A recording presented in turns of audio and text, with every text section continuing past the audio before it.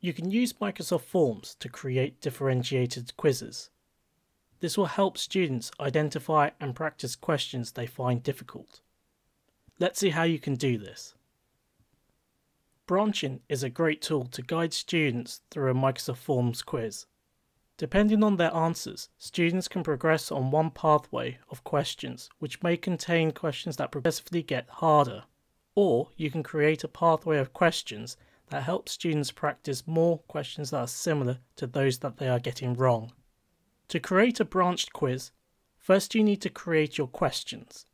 Make sure you check out the video link for a full tutorial on how to create a quiz in Microsoft Forms in this video's description. And this will also contain many useful tips and tricks when creating quizzes. It is worth planning your questions out beforehand as this will help reduce effective question pathways. In this simple example, we are checking students' mathematical knowledge.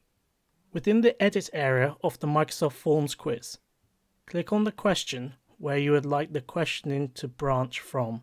In this case, I'm going to choose the branching to occur after the student has answered question 1.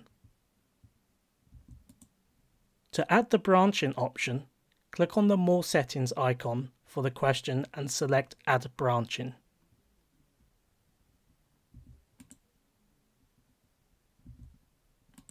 You now have the option to choose the outcome when a student selects one of the answer options. This will then guide the student on the different pathways. Click on the drop-down boxes for each answer option and select the next question the student should answer depending on whether they got the question correct or not.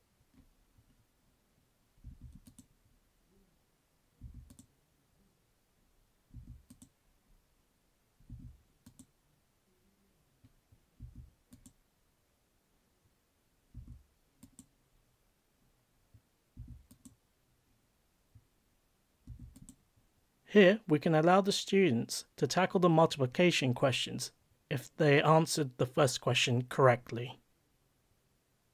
Once you have finished creating the branching, you can test it from the student's point of view by clicking on the preview option.